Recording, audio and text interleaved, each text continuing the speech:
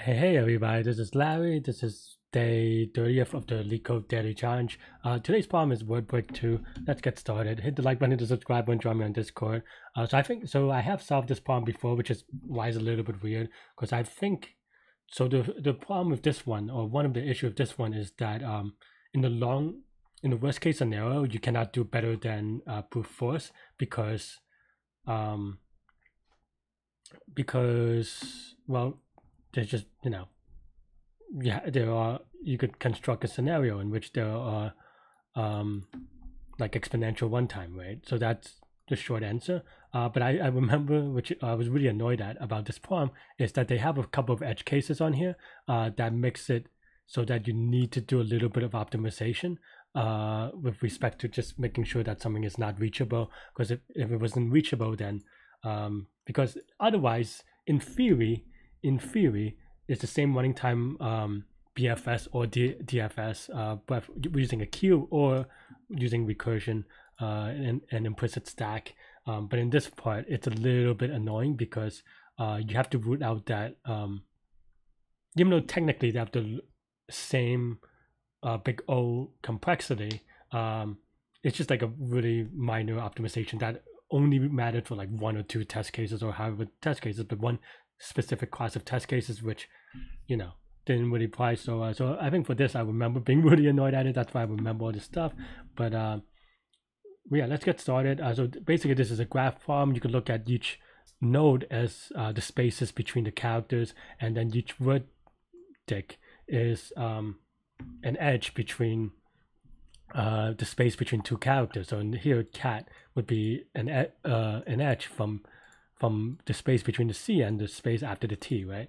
Uh, and then from that, we just try to find uh, all possible paths, which of course can be exponential, uh, but but yeah, and therefore you can do with breadth first search or depth first search. Uh, I so the last time I did it, I did it with depth first search, but then I ran this problem with non-reachable ones. So uh, so um, so yeah, uh, so I'm gonna use um, breadth first search or something like that, uh, or dynamic programming, how, how we want to call it, but just going forward uh, this time around versus um,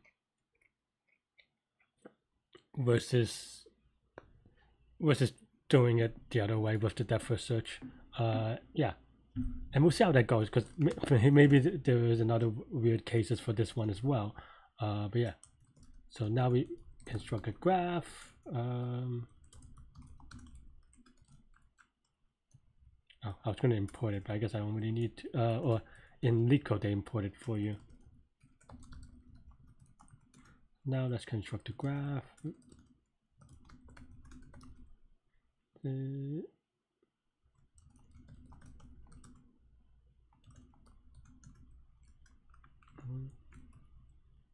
if uh, always off by one here, so I have to be a little bit careful. Mm, I think this is right. Though.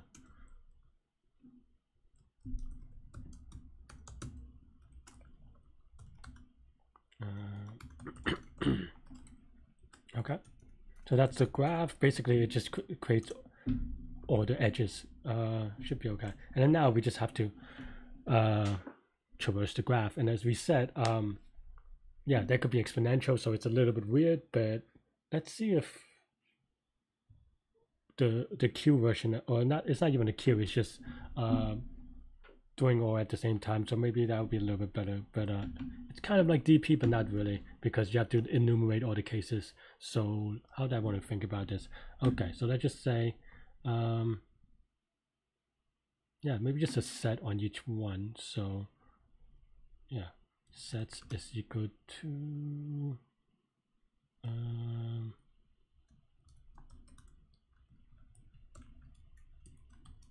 maybe even n plus 1, but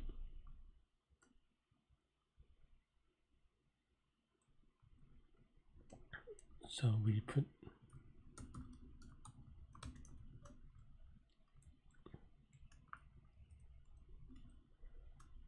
so for i in range of n. Uh, let's start at so actually from here zero is the character that's before the c. So that means that one is the character before the first character. That means that um, n is no, that should be okay. N should be the last character, I think. I'm just just thinking about off by one because I always know better about it. But I have to be n exactly. That means that this is n plus one space uh, or number of sets. So yeah. And then now I think I did it backwards by accident. Let me, let me actually now do this backwards so that we can uh, look at it a little bit better. So now, uh,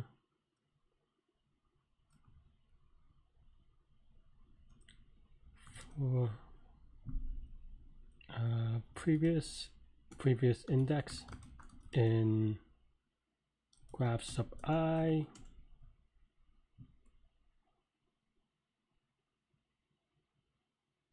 okay.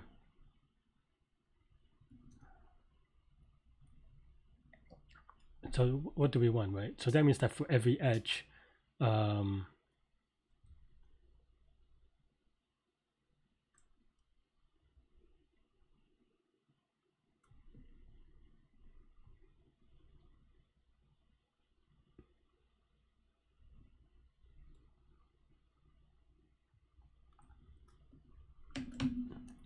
Okay, so that means that there's an edge from S sub uh, previous index to I, I think. Could be I plus one. I have to double check that a little bit.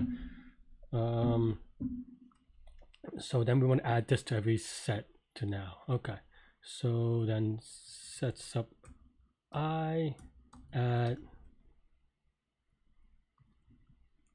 So this is the string, but we have to get uh, combine it with the previous uh, previous words. Previous words in set sub previous index.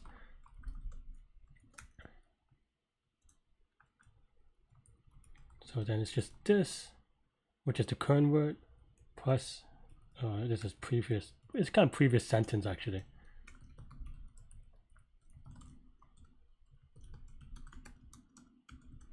And I think this should be okay. Uh, assuming that, yeah, that should be okay, hopefully. We'll see. Because uh, the big case is going to be just the running time and maybe just typos. Uh, and then now we can just return set sub n to list. Maybe. Uh, I think I have to remove the prefix of this, but that's Okay, if it, run, if it works, then we can fix it later. Uh, who would have a typo on? Oh, four. Why do I have four? Oops.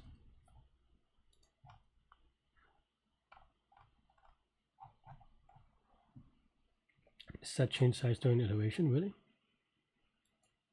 Mm.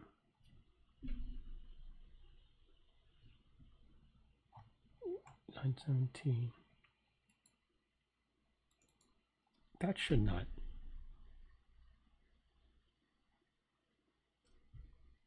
Hmm.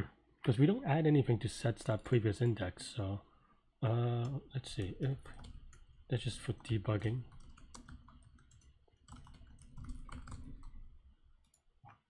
Also, while we do that, let's just hmm. That shouldn't be right, but I'm just also putting down test cases. Uh, okay. Hmm.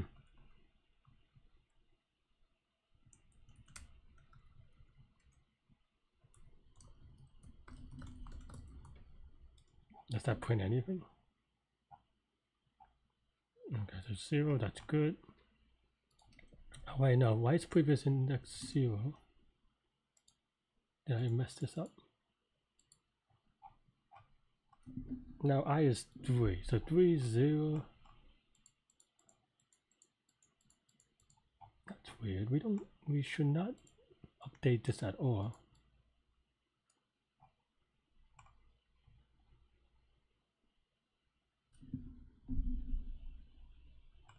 I didn't do it this way uh, previously. That's why I'm a little bit uh, have to double check this.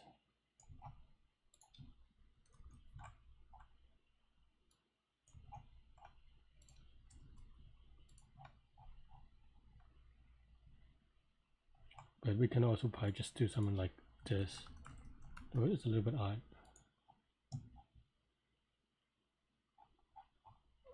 Uh, oh, I have to. Hmm. Well, there's something weird about it, but that's okay.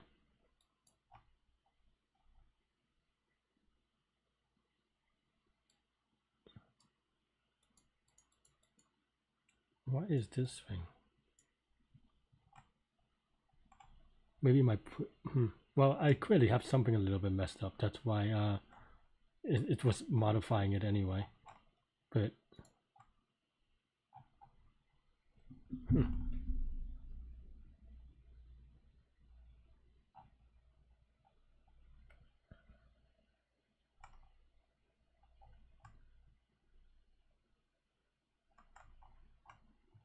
Oh, I see. Because this is the same set. Um, I need to do something actually something like this. Uh,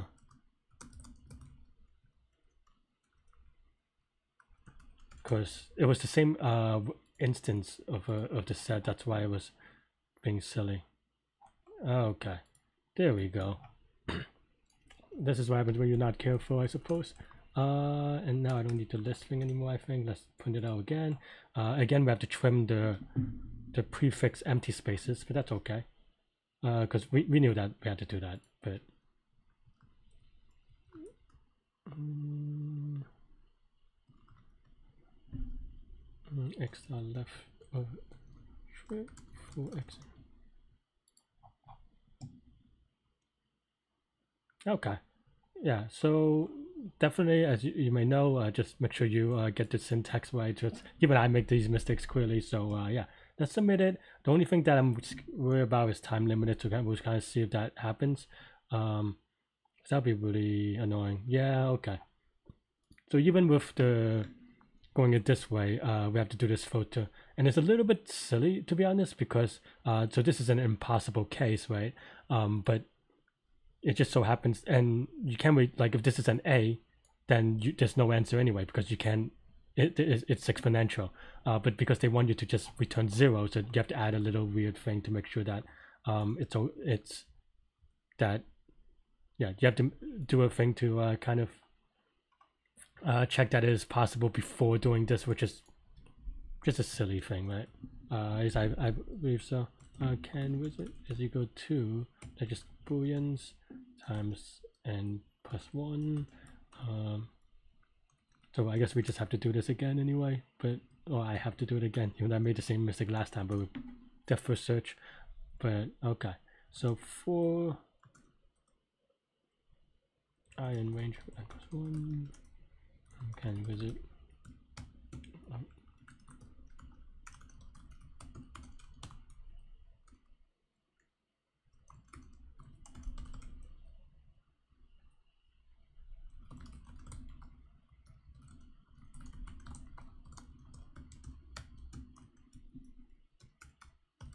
if not so this is just a visibility thing. Uh, I think it's uh, or empty I think I guess.